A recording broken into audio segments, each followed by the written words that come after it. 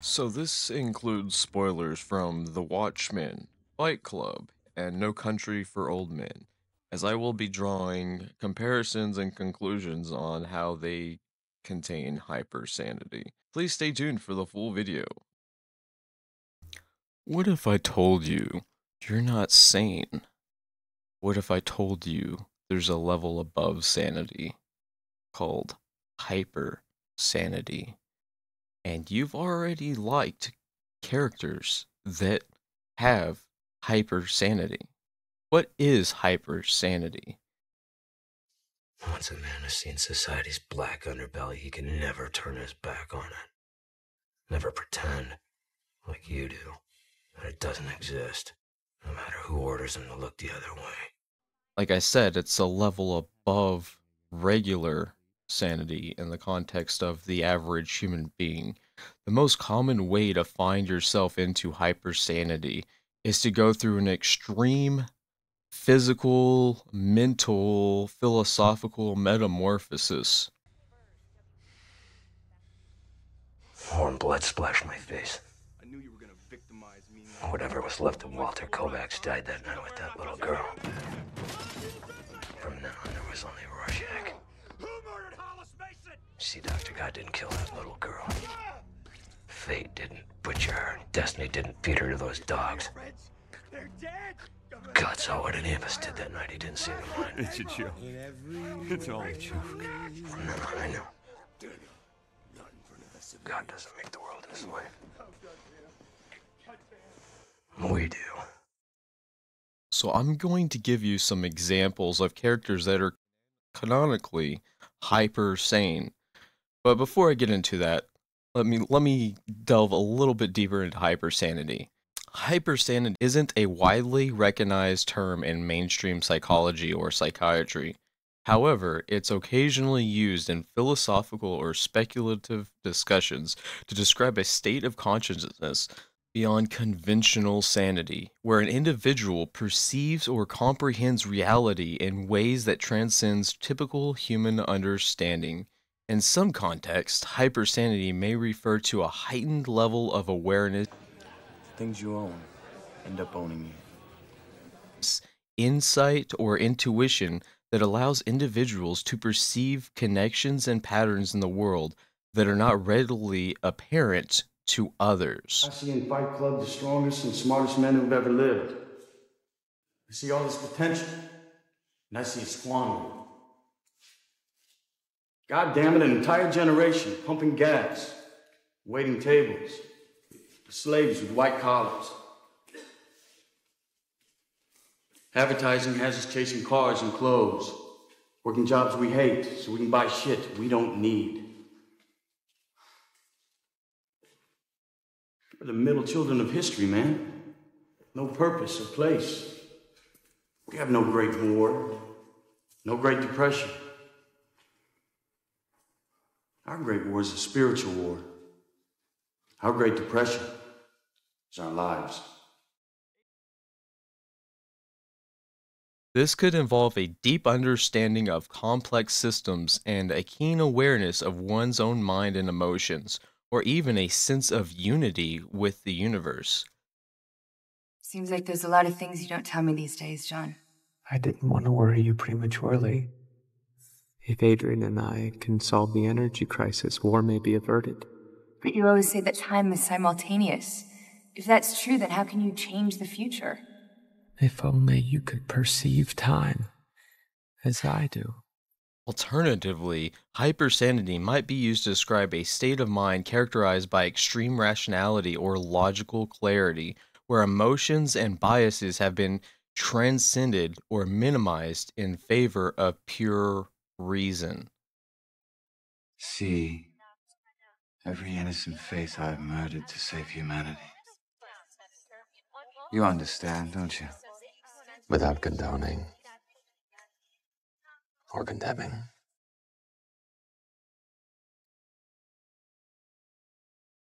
I understand. However, it's important to note that these are speculative concepts and are not widely accepted within scientific or clinical psychology. the idea of hypersanity often strays into the realm of philosophy or metaphysics, where definitions and interpretations can vary widely. And what they're talking about um, often strays into the realm of philosoph- philosophy or metaphysics. Um, hypersanity goes as, far back as as uh, Plato's The Republic.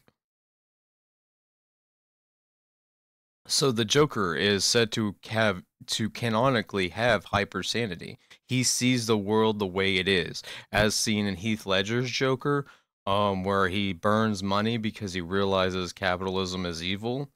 I'm only burning my half. All you care about is money. This town deserves a better class of criminal. And I'm gonna give it to him. It's not about money. It's about sending a message. Everything burns. and and the one with Joaquin Phoenix, the first one, where he starts the entire movement of of kill the rich. Um, this is this is hypersanity. He sees the problems with the world that other people do not want to make themselves aware of. They they'd rather live inside the matrix, so to speak. The Joker is a prime example of a character whose perception of reality is drastically different from that of most people.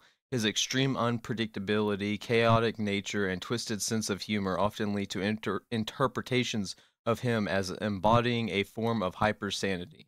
He sees the absurdity of life and revels in chaos. They're schemers. Schemers trying to control their little worlds. I'm not a schemer. I try to show the schemers how pathetic their attempts to control things really are. I killed those guys because they were awful.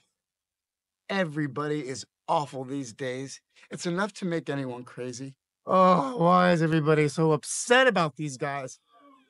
If it was me dying on the sidewalk, you'd walk right over me. I pass you every day and you don't notice me. But these guys, what, because Thomas Wayne went cried about them on TV? You have a problem with Thomas Wayne. too. Yes, I do. Have you seen what it's like out there, Murray? Do you ever actually leave the studio? Everybody just yells and screams at each other. Nobody's civil anymore. Nobody thinks what it's like to be the other guy. You think men like Thomas Wayne ever think what it's like to be someone like me? To be somebody but themselves? They don't. They think that we'll just sit there and take it like good little boys, that we won't werewolf and go wild. Good night. And always remember, that's representing a worldview that defies conventional understanding. Then at number two, we have Doctor Manhattan. Remember when when I was saying, oh, uh, they they get rid of their feelings and delve into pure logic? That's exactly Doctor Manhattan from Watchmen. She was pregnant. And you gunned her down. That's right. You know what? You watched me. You could have turned the gun into steam, the bullets into mercury, the, the bottle into goddamn snowflakes, but you didn't, did you? You're drifting out of touch, Doc. So, Dr. Manhattan is a character in the graphic novel Watchmen by Alan Moore. After a lab accident, he gains godlike powers, including control over matter, time, and space. His perception of reality becomes detached from human concerns, and he struggles to relate to ordinary people. Does Manhattan even have a heart to break? Due to his hyper awareness and understanding of the universe. Another one is Tyler Durden from Fight Club. Represents an anarchic rejection of societal norms and consumer culture, capitalism. I felt sorry for guys packed into gyms, trying to look like how Calvin Klein or Tommy Hilfiger said they should. That what a man looks like? Ah, self improvement is masturbation. Now self destruction. His alter ego, the narrator, becomes increasingly drawn to Tyler's anti establishment views and destructive tendencies. Tyler sold his soap to department stores at $20 a bar. God knows what they charged. This is the best soap. Why, thank you, Susan. It was beautiful. We were selling rich women their own fat asses back to them. Tyler's disregard for conventional sanity and his ability to inspire others to reject societal norms could be seen as a form of hypersanity. And this goes directly back into Plato's um, The Republic. Where does it lead? To your cave. Step forward. Rorschach, another Watchmen character, um, operates with a strict moral code that disregards societal norms and conventions. Calling me Walter. I don't like you. You don't like me. All right, why is that exactly? You're fat, wealthy, liberal sensibilities, what you call compassion, wanting to protect and understand the guilty, this rotting society, what it calls rehabilitation. Nothing short of compromise. Is it a compromise to want to make you well? There are other men in here with behavior more extreme than mine, Doctor. Of course, they're not famous, are they? You want to know about Rorschach? I'll tell you about Rorschach. His up- uncompromising commitment to justice and truth, even in the face of overwhelming corruption and cynicism, could be inter- interpreted as a form of hypersanity. Never compromise. Not even in the face of Armageddon. It's always been the difference between us, Daniel. Out of my way. People have to be told. You know I can't let you do that. Suddenly you discover humanity. Convenient.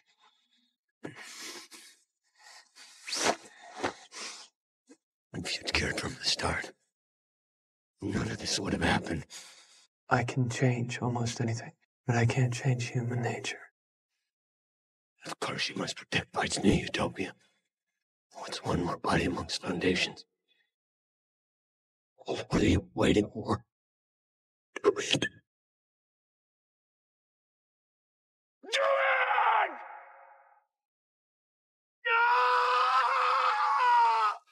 Daniel, you are a good friend. I know this can be difficult with me sometimes.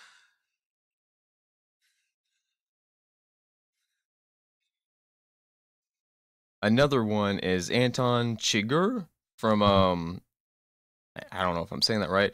No Country from Old Men um, is a chillingly detached hitman who operates according to his own sense of morality. His stoic demeanor, unwavering determination, and arbitrary use of a coin toss to determine fate. Couldn't say. Call it. Call it, yes. For what? Just call it. A little anarchy. Upset the established order. suggest a mindset that transcends conventional human understanding. This goes back into um, Heath Ledger's Joker when he's he's telling um, Two Face or whatever Harvey Dent that the only thing that's fair in a capitalist society is chance, right? Because who you're born, if you're born rich, if you're born into good, all of that is just chance, and that's what he's talking about uh, capitalism is is basically just a form of um that's that's capitalism is just a, another form of nepotism in a sense and that's that's what that's what this is so yeah these characters exhibit traits or behaviors that challenge or defy conventional no- notions of sanity often forcing audi- audiences to reconsider their own perceptions of reality and morality now statistically speaking most Americans do not want to be hyper sane because that means leaving the cave and seeking enlightenment. And I'm going to be talking about this more into my next video, so be sure to check that look out for that. It could be another week or so cuz I've got I've got uh, several books I've got to read and I've got to jot down notes and then link them all together um to to visually show show everyone how it, it pertains into um, modern media and whatnot. so, if this was interesting to you, be sure to like, subscribe, comment for more uh more weird uh fringe science and uh philosophy and um and whatnot. And uh peace.